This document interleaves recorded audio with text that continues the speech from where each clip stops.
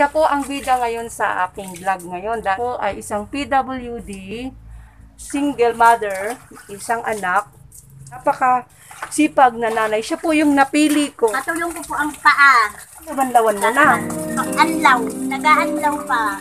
Kamay niyo po, hindi mo talaga siya maigagalaw. Um, mild cerebral palsy po ang tawag sa aking kapansanan. Ah. Po sa doktor, ang ang cerebral palsy karamihan ay nakukuha kapag ang nanay na nanganganak ay kinukulang sa oxygen. Di nakatapos ng pag-aaral. Opo. Ako, agriculture major in fisheries. Wow! Ah, tingnan mo guys, no? Si Anna Fer, siya po ay graduate. So, na, ang butit nakapag-asawa ka.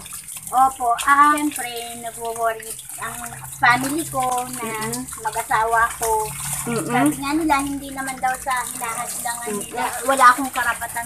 Alam nilang mahihirapan ako. Tutusin po, napakabuti po ng Panginoon kasi isang napakabuting tao. Sana ang ibinigay niya sa akin ay magang kinukuha ni Lord. Tiga, naglalaba po siya. So, kahit may kapansanan, pinipilit po niya na magawa yung gawaing bahay, yung paglalaba. Pero yung isang kamay lang. Ano po yung pinagkakakitaan ninyo?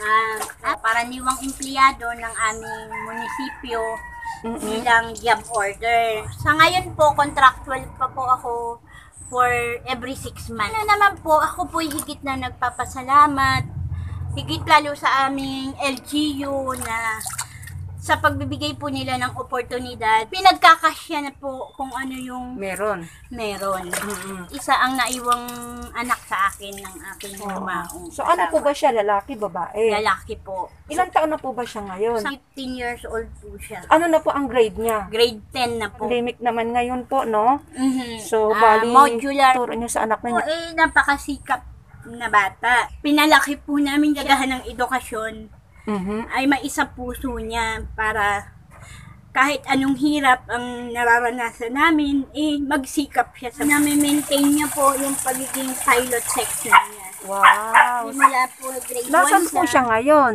Ah, nandyan po siya nagsasubmit. Ah, nagsubmit Nagsubmit po ng kanyang module. talagang hindi po hadlang ang pagiging may kapansanan natin para lang tayo ay magtatagumpay kung ano man yung pwede nating gagawin. Sa sitwasyon po ni Ate Anna for mga igan. So, hindi po natin masasabi ang buhay natin ngayon. Ayun nga ang iba na kompleto ang katawan. Kumbaga po ay talagang ah, iniingatan din po ang kanyang sarili. Pero, ayan, lumalaban po talaga. So, ayan, tinutulungan naman po kayo ng anak niyo. Apo, may natira akong binabad na damit. Nilalabhan niya. Ngayon po, kung halimbawa, meron pong gustong tumulong sa inyo, kung sakasakali po, ano po yung gusto ninyong bigay na natulong? Sa sistema po kasi ng trabaho ko, alam ko namang hindi po yun pang matagalan. Yun lang po ang pinaka-aasam-asam ko sa ngayon. At yun ang pinag-worry ko sa buhay ko kasi lapit na mag-college ang anak ko. Sana mapag-aral ko siya. Kahit giba-giba ang bahay namin. Nga po, oh, Kaya ba? kahit hindi ko na po muna iniintindihan ang mahalaga eh mapag-aral ko ang anak ko. At sana ang anak ko talagang nagsisikap. Ako kasi ang pangarap po talaga ng anak ko since paborito niyang mga subjects ang math. Eh gusto niya po sana kung sabi niya sana makaya namin engineering. Wow. Opo. Malay nyo po, sa pagbablog natin na to, merong tutulong hanggang sa siya ay makatapos ng pag-aaral. So, Sana nga malaking po, ano po eh, to. yun po ang iniisip ko. Pag nag-college ang anak ko, tuition, boarding house, Mm-mm. mga daily needs niya pa, mga basic needs niya, ay hindi ko po alam talaga kung sa ngayon talagang ayaw ko lang si- sirain ang loob ng anak ko Mm-mm. na pero iniisip ko talaga hindi ko alam kung kakayanin ko. Kakayanin po natin yan, Ate Anna first. So, basta may salang, Pero talagang ang, sipag. ang pinaka-aasam ko na lang talaga sa Panginoon ay yung talagang mapag-aral ko ang anak ko. Napapayak na po si Ate Ana for naigan talaga pong ang hirap ng buhay ngayon. Ang hirap magpaaral talaga ng anak. Talaga namang subsuban po. Lalo na, na kahit sabihin mong scholar yung anak natin, pero kahit tayo pa rin magpuproduce ng pangangailangan. So, ito nga po. Tutuangan natin si Ate Ana Ako for na, ako na. natin kapag talagang ginusto, di ba? Ay, yung mga tanim, sino nagtatanim yan? Ah, kami ng anak ko. Oh.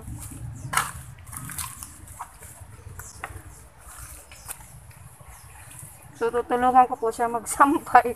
Isang kami din lang kasi yung isa, ang hirap pala pag isang, pag nag-iisa ka lang na vlogger, no? Gayahin ko si Ate Ana, isa din lang. Kung ka, ang hirap pala ng kalagayan ni Ate Ana. O, tingnan mo. Tapos ano yan, kaliwa kanan. Kanan. Ay, kaliwa yung Ayan. So, matatapos ka na. Yan po. Sana umuulan, magkakamas dito oh, ito lang ang saingan ko. Hmm. Anong gagawin mo dyan, Ate Ana? Gagataan. Wow! Wow, paano ka maggayat? Ganyan.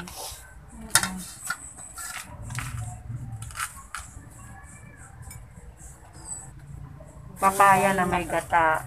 Isang tulingan na ipiprito tapos suha.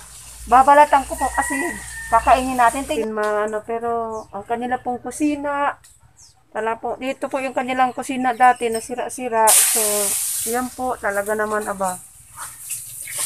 So, yan po, medyo talagang luman-luma na ang kanilang bahay. Bahay. Happy lang. Yan. Yan, malapit lang matapos.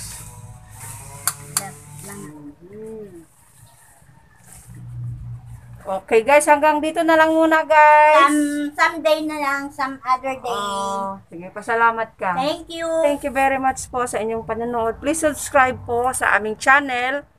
Ah, sino po yung may pusong gustong tumulong, Ate Ana, na talagang kinataguyod niya ang kanyang sarili para lang mabuhay ang kanyang anak. May kapansanan pero hindi pala naging hadlang ang pagiging kapansanan natin, kundi talagang tuloy ang buhay. Ah, sino po ang merong may malambot na puso para tumulong kay Ate Ana. Pwede pa kayo mag-comment, message po. Ang or- ganda ng dress ko. Gift ito ng aking mga friendship. Ah, Kaya favorite ko Oo isuot. nga, ang sexy nga eh. Mga oh. tira-tirang tela ng aking mga friendship na Ah. mananahin. Okay, sige. Bye po!